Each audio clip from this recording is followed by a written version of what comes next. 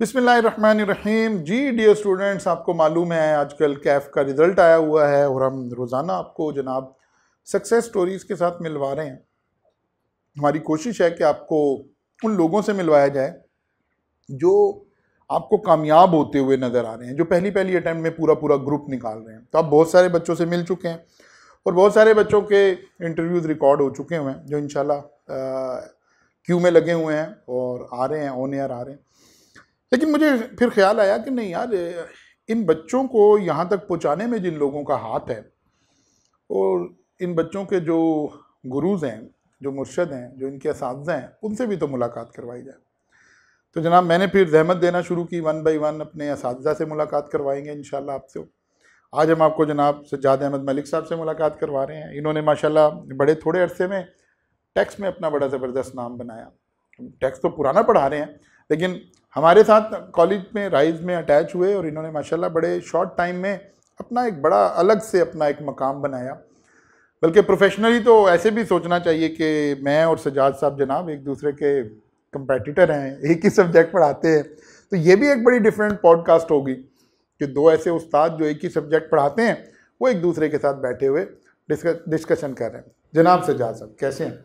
मैं सर ठीक हूँ अल्हम्दुलिल्लाह बिस्मिल्लाह रहे सर जी रिज़ल्ट तो माशाल्लाह बहुत अच्छा रहा है और आपने कुछ ज़्यादा तारीफ़ कर दी है। नहीं नहीं जनाब आप बड़ी ज़बरदस्त तारीफ़ के मुस्तक हैं। आपके आपके बैचेस का रिज़ल्ट भी बहुत आउटस्टैंडिंग बहुत ज़बरदस्त। अलहमदिल्ला सर बस ये है कि मिलजुल के चलने का नाम है। जैसे हम अगर रिज़ल्ट की बात की जाए तो आपका भी बहुत अच्छा रहा है।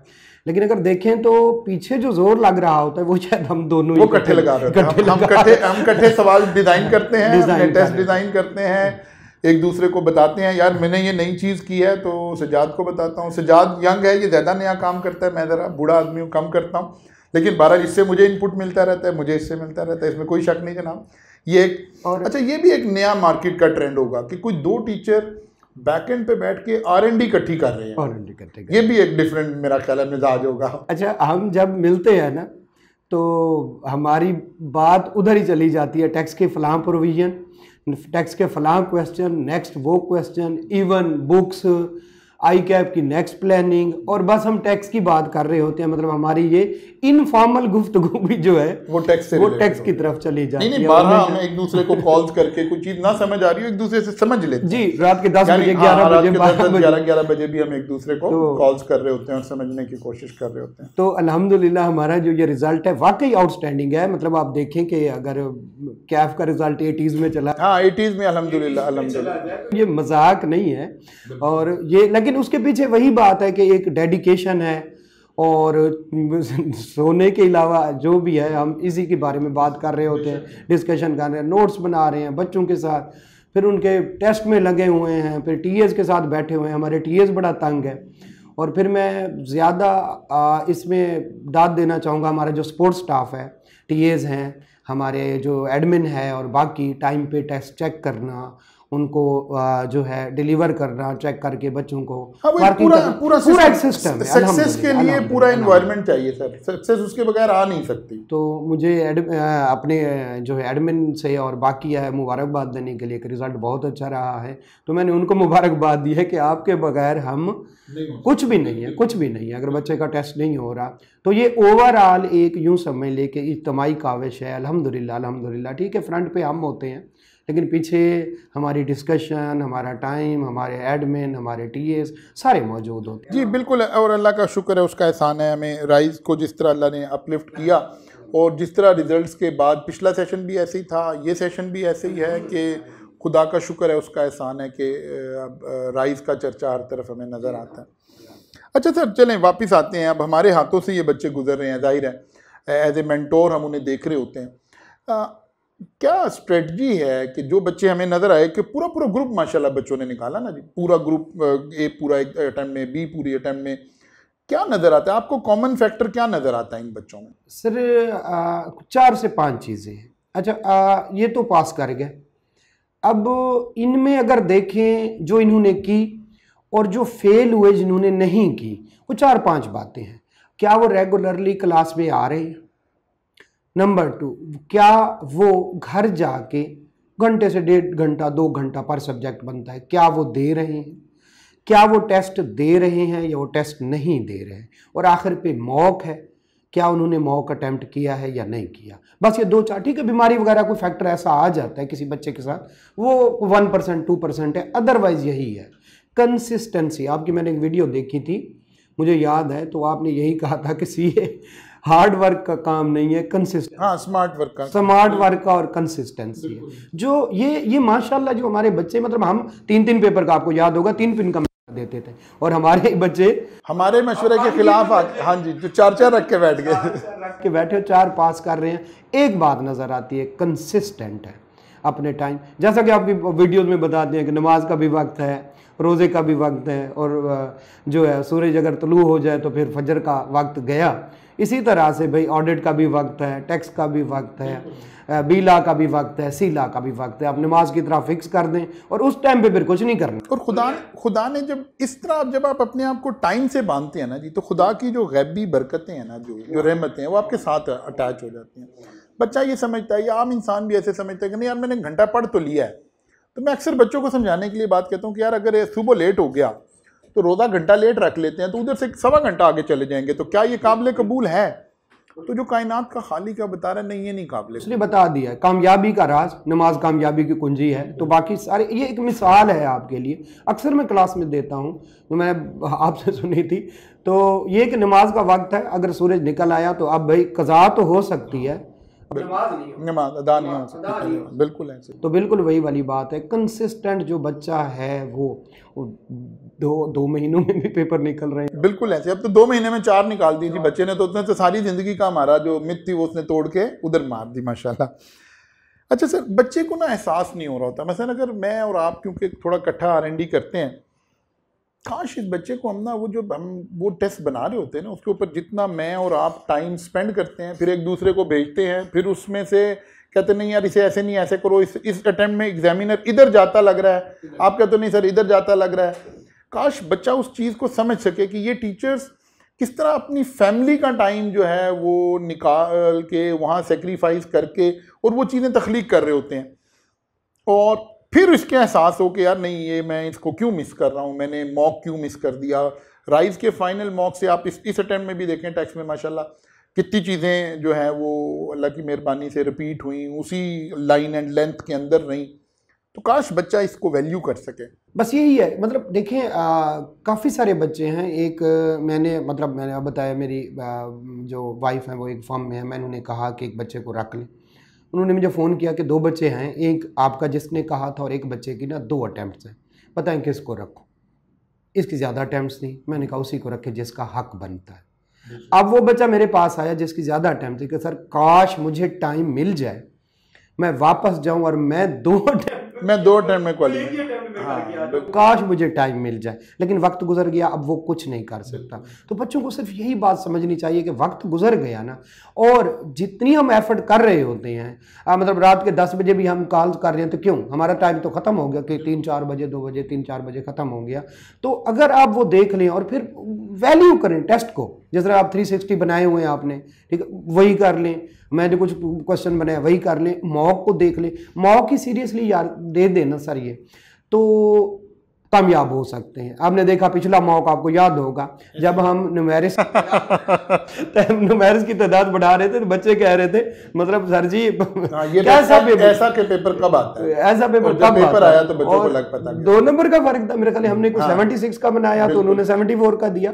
तो वो वो कुछ इस चीज़ को अगर करने लग जाए एक अपने वक्त को वैल्यू करें और दूसरा हमारी एफर्ट को भी साथ हमारे साथ चलने की कोशिश करें बस इसी तरह से। जी सर। अच्छा सर, आज एक कोई एक अनाउंसमेंट और हुई है। हमने राइज में बीओडी में एक डिसीज़न लिया। बहुत सारे बच्चों की ना एक रिक्वायरमेंट आ रही थी कि सर, अगर हम खाली टेस्ट देना चाहें तो क्या हमें अलाउड है?